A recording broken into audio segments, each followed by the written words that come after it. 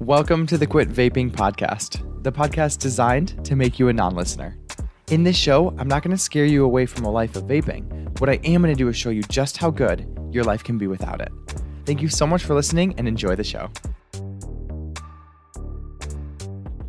Hi, guys, welcome to today's episode. So, we're actually going to talk about a really amazing concept today, and it's really important. I'm going to teach you some things. So, if you feel like you've been in a hurry to quit vaping, or you've tried over and over and like you're beating yourself up, or you think you should have these tools down and you're not ready, or you just are like trying to quit and because you think your life's going to be better on the other side of it and you're in an urgent rush, I would recommend you don't quit, and we're going to talk about why today. Uh, but before I get into that, it's going to be a really good episode. Before I get into that, I just want to say it is Halloween in two weeks in Michigan. If you want to experience like the best day of the year ever, come to the northern part of the United States during Halloween because we have all the leaves changing. It's such a fun, amazing time. And I want to recommend you this. If you are looking for some good Halloween movies, um, When Good Ghouls Go Bad, amazing. And then obviously the original Halloweentowns amazing Halloween movies. They'll bring you right back into Halloween during like the early 2000s, late 90s. Fantastic, fantastic time period and just an amazing nostalgic time. Also, I want to add this before I get going on the podcast. I am decking my apartment out because I'm having somebody come stay with me for three days and it gives me a reason to just go balls to the wall. So if you want to see my apartment and like kind of get to know me a little more and see how I've decorated, it's totally gaudy. Like I went to the Dollar Tree and I just went all out. I spent like a $100 and it's amazing and just so great in here and it's so corny and Halloween, and I love it so much. So I've posted a post with 10 pictures on my Instagram. You can go check out my apartment and get to know me a little more and see kind of where I live and what I do and where I spend my time making this podcast. All right, um, and the link's in the bio for the Instagram, by the way. But uh, today we're talking about not quitting today, and this is a really important concept. So if you feel like you've been rushing to quit, or if you are have this sense of urgency over quitting, I want to talk to you about that. And I actually want to let you know that if you think your life is going to be better when you quit vaping, and if you're in a rush to get there, I actually wouldn't recommend that you quit vaping. And this is why. So, I want to just drop a concept on you, and I want you to really think about it. So, the reason that we do anything in our life, anything, and the reason that we don't do anything, so the reason we take any action and the reasons why we're not taking actions that we want to be taking is because of emotions. Okay? Your emotions drive all action and your emotions are the reason why you want anything. So let's look at some examples. And I really want you to think about this. It's a really important concept to understand, especially when you're trying to uh, change a behavior like quitting vaping. So if you want to be married one day, why do you want to be married? And the simple answer and the correct answer is because you want to feel a certain way or you think that it will make you feel a certain way, right? So if I want to be married, it's because I think I'm going to feel loved and wanted and valued and respected, things like that, right? Secure. Why do you want the car that you're dreaming about? It's the same thing, right? Because of an emotion I will think that the car will bring me. It's an emotion I think I'll experience when I have that goal achieved. Why do I want the job that pays me $500,000 a year in the executive office?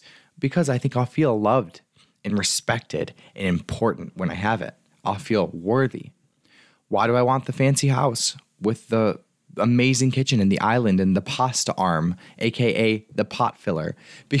Sorry, I love those things. I like when I have a pot filler in my house. Look it up on Google. That is when I've hit like luxury life, even though I would never use it. Um, like I'm Italian, I don't eat pasta very often, so I just I just want that. Uh, but like, why do I want those things? Because of the way that I think I will feel when I have them. The reason that you want anything, why do you want to be someone who doesn't use nicotine? Is because the way that you think you'll feel when you have when you don't have nicotine in your life anymore. You think that you'll feel secure and loved and important and you'll have self-respect. Well, here's what I'm here to tell you is that emotions come from your thoughts and you can think thoughts that will create any emotion right now in the present moment without ever having to change anything in your life. So, whenever I have somebody that's trying to rush into a new action, or they're trying to rush into a goal to get the result, they're trying to rush into being a non vaper, the reason that you're doing that ever is because of you're trying to experience an emotion or a whole bunch of emotions that you think being a non vaper will bring you. So, take a minute, really take a minute. Like, what do you think is going to change about your life? What emotions do you think being a non vaper will bring you? For me, I thought it would be self respect. I thought it would be, I would feel loved. I thought I would feel healthier, if that's even an emotion. I don't think it is, but I thought I would feel like more secure because of my health, right? Security is an emotion. I thought I would feel respected by other people. So it's important. Figure out what emotions you think that you want to feel when you quit vaping. And the reason why I think that's important is because then you can just give yourself those emotions right now. Did you know that you actually don't have to be a non vaper to feel respected? Did you know that you don't have to quit vaping in order for you to feel self love? This is a really important thing to understand. It's really important because if you are rushing to any goal, it's because you're trying to rush to a feeling that you think the goal will give you. But you can feel that feeling right now. And it's actually, this is kind of a mind twist. So think about this. It's actually the feeling that you want, you could feel that right now. And if I choose to feel that right now, then I will actually achieve the goal that I want. It's like so many of us were chasing the result because we think that results bring emotions. But I want you to know that your results never create emotions. It's what we think about the result. If I have the car, I think I'm important. I think a thought, I've made it. This is the life. That's why I feel good. I think, look at what other people are thinking about me. They think I'm important, so now I feel important. The car doesn't bring an emotion. Cars don't create emotions. Not vaping does not create emotions. Vaping itself doesn't create emotions, it's our thought about it. So why not just choose thoughts that feel good right now? Because here's the thing if I want to feel loved, and this is a big one for me. When I was vaping, I didn't love myself. It was really important to understand that because when I don't love myself, guess what happens? I vape more because I feel crappy. And why do we use nicotine? Because we want to escape emotions that aren't uncomfortable. Well, not loving yourself is a really uncomfortable emotion. not feeling worthy, very uncomfortable. Feeling shame about my actions, very uncomfortable. How do I get out of it? Nicotine. And then also, I overate and I drank a lot of alcohol and I smoked a lot of weed. It's like, feel the emotions now. What if I could learn to love myself right now as someone who vaped? Two things would happen. One, I would be able to quit and then the other part is that I would no longer feel crappy about who I was. So I'd get to feel good the entire time I was learning to quit. It's not about the end goal. I promise you that. And I'm telling you right now, as a business owner who always is setting new goals, literally every single time that I achieve that goal, I'm happy for about three seconds. And then I'm like, uh, okay, now I'm setting the new goal. So if I can't learn how to enjoy the entire process all the way through, I'm never gonna make it a business owner and I will be vaping again. It's not about quitting vaping. Yes, that's an amazing result that I want everyone to have that listens to this podcast and that shines up for my program, my courses, but it's not about that. It's about learning how to feel the emotions you want to feel from creating the result, learning how to feel those emotions now the entire way through. I've been saying this to people lately, especially in my program. It's like, I don't want you to quit vaping until you learn how to love yourself as a vaper. Because it's in the act of stopping beating yourself up, stopping shaming yourself for who you are as a vaper. It's in that process that you learn self love. And from that foundation, it's very, very easy to quit. Because when you feel love for yourself all the time, you don't need to escape yourself anymore. When you no longer feel shame all the time, and you can just sit there and self love, and you are loving enough to feel the normal amount of negative emotions that are in our life, right? Like the normal amount of anxiety, when we're loving enough to experience that without beating ourselves up for it, that's when it's so easy to stop numbing our emotions with things like nicotine. So if you find yourself in a rush to get to the end goal, whether it's quit vaping or anything, but really it's quit vaping, right? I have so many clients and people that I talk to every day, they're like, they're beating themselves up because they haven't had the result of not vaping permanently yet. It's like, that's why you're still vaping, because you're beating yourself up for who you are right now. So it's like, if you find yourself rushing, I promise you, if you're ever rushing to get to a goal, it's always because you think that goal is going to make you feel a certain way and because you're not allowing yourself to feel that way right now.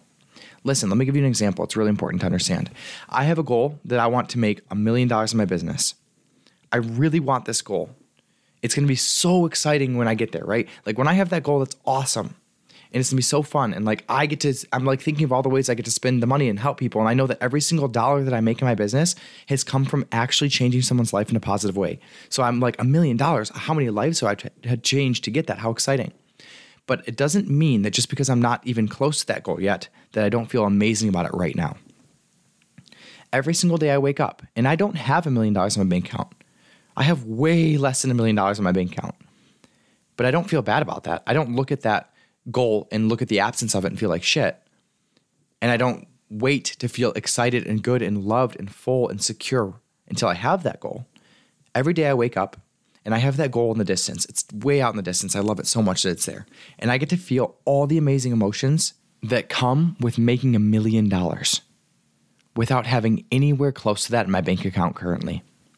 Because a million dollars does not create my emotions. My thoughts do.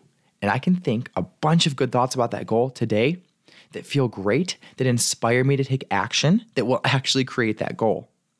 So many people, they're withholding feeling good emotions until they get the actual measurable result in their life that they can look at and hold. And that's why so many people never achieve it. If you are feeling all these negative emotions and you're trying to rush to the end goal to quit vaping, the reason why it's so hard for you to quit vaping is because you are not allowing yourself to feel all the good emotions that will actually lead you to quit vaping. So when I was making this program, I'm like trying to figure out why is it so scary for people to quit vaping?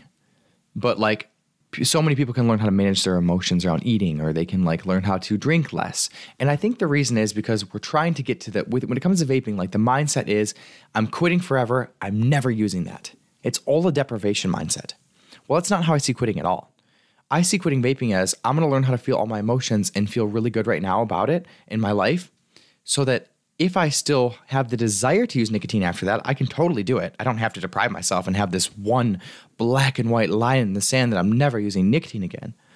It's just if I learn how to feel my emotions, all of them, the good, bad, the ugly, and I consciously choose to feel really good about my life and I allow myself to feel all the good emotions about the goals that I want, even though I haven't achieved them yet, then if I still want to vape, I can do it.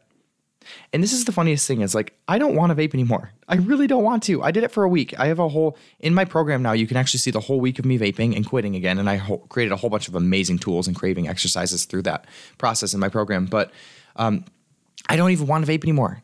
It's not because I'm like brainwashing myself that nicotine's evil. Evil. Have you ever seen SpongeBob? It's mermaid man. That's not what I've convinced myself of. I've actually unconvinced myself that nicotine is benefiting me. I don't think it's benefiting me. So I have no desire to use it. I feel my emotions most of the time.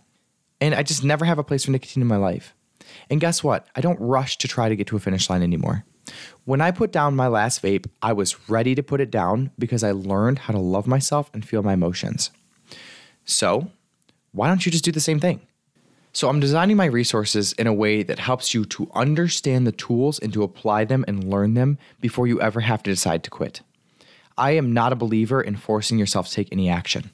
I am a believer in feeling your emotions and deciding after you learn how to feel them and apply the emotional work and apply the thought work that you can quit when you want to because it'll just make sense then.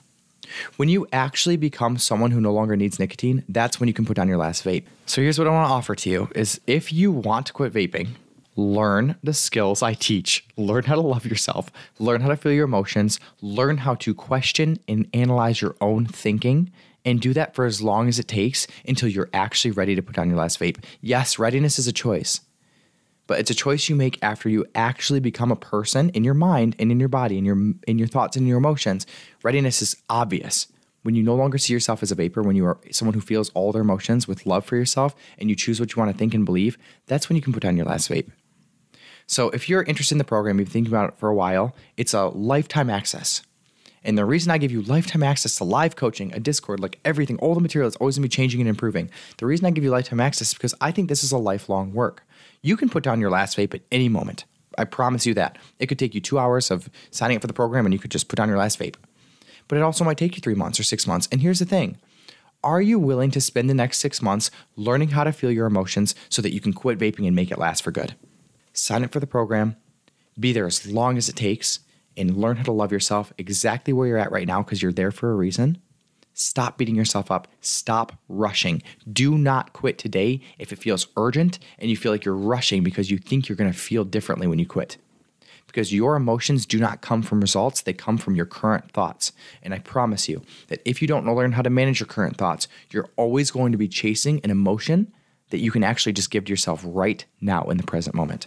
Although this might not be an overnight work or a quick like easy button to success, I promise you this is the way that it lasts. And if you learn these tools, you're going to use them for anything else in your life. Because I promise you this if you have any goal, you're going to need these exact same tools that I teach you on how to quit vaping. That's why they're worth learning and they're worth being patient and understanding and taking your time and taking a deep breath. Okay.